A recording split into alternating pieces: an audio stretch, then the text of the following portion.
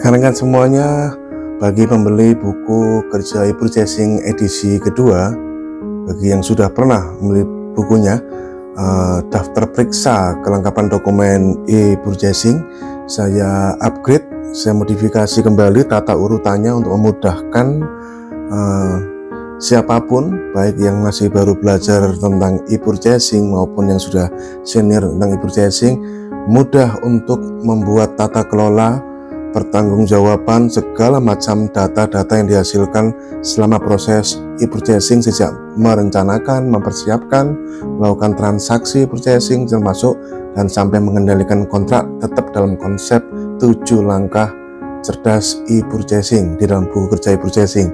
Bagi yang sudah pernah membeli bukunya, Anda tinggal scan ulang QR code pada buku kerja e-purchasing, Anda tidak perlu beli lagi, cukup scan ulang QR code-nya Anda akan menemukan uh, daftar periksa atau checklist kelengkapan dokumen.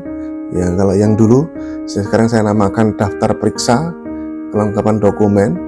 Ya, kami rapikan di mana bagian awal tentunya adalah formulir identifikasi kebutuhan dengan berbagai macam varian-varian uh, sesuai dengan jenis pengadaannya. Jadi konstruksi barang itu beda-beda ya. Teknik mengidentifikasi kebutuhannya. Kemudian dan itu dilakukan oleh pengguna akhir. Kemudian dilanjutkan dengan analisis pasar. Analisis pasar di sini ada empat uh, varian, ada empat style yang bisa anda pilih. Salah satu, salah dua, salah tiga, salah empat terserah bisa menggunakan formulir referensi harga, semuanya ada di dalam QR code-nya, bisa menggunakan formulir analisis pasar berbasis merek, membanding-bandingkan antar merek, ya harga dan layanan, ya tidak hanya dari sisi spesifikasi saja, ya kemudian menggunakan atau menggunakan formulir request for information kepada pelaku usaha atau kepada pengguna akhir. Ada gaya yang keempat, style keempat adalah formulir spend analysis, analisis belanja atau kontrak-kontrak sebelumnya Nah, ini empat analisis pasar ini eh, sangat-sangat uh, komprehensif. Anda bisa memilih salah satu, salah dua, salah tiga, salah empat, makin banyak makin bagus untuk mengambil keputusan mengenai analisis pasar, ketersediaan pelaku usaha lengkap dengan referensi harganya. Bagian yang ketiga adalah pemaketan formulir perencanaan pengadaan pemaketan identifikasi pengadaan sesuai peraturan LKPP 11 2021 pedoman perencanaan pengadaan. Di dalamnya juga sudah termasuk uh, penetapan status pemaketan barang jasa per item daftar keluaran atau daftar kuantitas apakah itu ber, berstatus TKDN atau berstatus PDN atau berstatus impor? Khususnya kalau yang jenisnya barang ya. Itu karena harus disesuaikan dengan kebutuhannya. Tidak mesti harus ber TKDN sesuai dengan tergantung dari kebutuhannya dan penetapan kebutuhannya itu ada tujuh pertimbangan tidak hanya spesifikasi teknis saja. Tujuh pertimbangan yang sudah uh, pernah diulas sebelumnya di DVD yang lain dan konsepnya ada dalam buku kerja e-purchasing ini. Kemudian keempat adalah dokumen penetapan penyedia e-purchasing. Formulir ini digunakan khusus bagi Anda yang menggunakan metode negosiasi. Kalau Anda tidak menggunakan metode negosiasi, jangan pakai formulir yang nomor 4 ini, dokumen penetapan penyedia e-purchasing. Ini khusus negosiasi saja.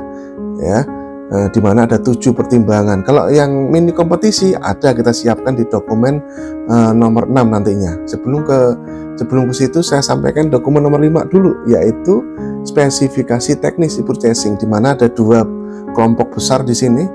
Ya, nanti rencananya tiga setelah perpres yang baru keluar, yaitu ketika jasa konsultansi bisa sudah sah legal masuk e-purchasing sekarang uh, belum jadi masih dua kelompok yaitu kelompok pertama adalah kelompok barang dan jasa lainnya di situ di, uh, dijelaskan di, dijelaskan lebih rinci. Karena ini titik kritisnya persiapan e-purchasing dan titik lemah kita. Ya kalau kita lemah di sini bagaimanapun ruang lingkup berkontrak itu adalah spek ini. Ya untuk kemudian dinegosiasikan uh, nantinya atau diproses uh, sebagai bagian dari mini kompetisi nantinya.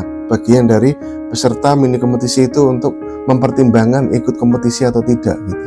Di barang jasa lainnya, selain daftar kuantitas dan link katalog yang sudah tersedia deskripsi produk, juga mestinya dilengkapi dengan spesifikasi kinerja, spesifikasi waktu, spesifikasi pelayanan. Kemudian kalau yang konstruksi eh, selain daftar kuantitas dan link katalog hasil perkalian RAB entah itu berupa berupa produk jasa konstruksi atau berupa milestone maksudnya juga dilengkapi penetapan di situ adalah spesifikasi bahan bangunan, spesifikasi peralatan konstruksi, spesifikasi prosesnya, spesifikasi metode pelaksanaannya, spesifikasi jabatan kerja, keterangan gambar DED ya lengkap ya, masuk peta lokasi juga di situ, rancangan konseptual keselamatan konstruksi ya, dan perhitungan komitmen TKDN. Ya, itu mestinya sudah lengkap dengan itu. Kemudian dokumen keenam yang tadi kita janjikan yaitu dokumen pendukung mini kompetisi. Nah ini yang kerennya buku ini mengadopsi semua strategi, menghormati semua strategi walaupun kalau saya ditanya lebih bagus mana Pak? Kalau lebih saya lebih value for money metode negosiasi, tapi saya selalu menghormati semua kebijakan LKPP kita support sehingga bagi rekan-rekan yang menggunakan mini kompetisi kita sudah siapkan dokumen pendukung mini kompetisi ada tiga kelompok di situ mini kompetisi produk ada dua formulir evaluasi, purchasing verifikasi analisis lembar uji dan assessment sistematis yang dilanjuti dengan formulir efikasi, e-purchasing finalisasi kesepakatan dan spesifikasi. Kemudian ada mini kompetisi spesifikasi, ada e-spektra, e-purchasing spesifikasi komparasi dan evaluasi terintegrasi. Bagi Anda yang menggunakan mini kompetisi pekerjaan konstruksi, maka Anda tinggal menggunakan uh, dua formulir yang pendukung yang sudah disiapkan, yaitu e-konstru, evaluasi konstruksi terintegrasi dan kalifikasi, konstruksi, finalisasi, kesepakatan, dan spesifikasi. Dituangkan sebagai pendukung uh, aplikasi mini kompetisi yang nanti kita tunggu perkembangannya di katalog versi 6 seperti bagaimana karena sampai hari ini belum ada.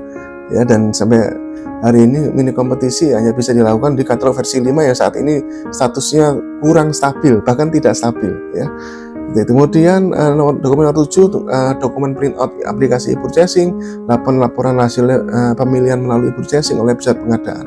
Kemudian 9 dan seterusnya adalah tahapan pelaksanaan kontrak mulai dari dan ini saya ambil buku transformasi pengendalian kontrak ya. Jadi buku ini menggabungkan dua buku sebenarnya ya uh, ter, terkait dengan template-nya, formulirnya ya. ya yang tapi tentunya dokumen pelaksanaan kontrak ini bisa kita sesuaikan ya kita ambil yang bagian diperlukan. Dan di situ sudah banyak alat perangnya mulai dari formulir nomor 9 sampai formulir nomor 35 itu bukan dikerjakan semua tidak ya. Tapi itu adalah pakai yang digunakan ya. Ada rapek kontrak ya. Risalah anjang sana pra, eh, eksekusi dan kontrak ada developer ada surat pesanan pasti. Dan surat pesanan tentunya kelebihan dari buku ini sudah me me me melakukan modifikasi surat pesanan.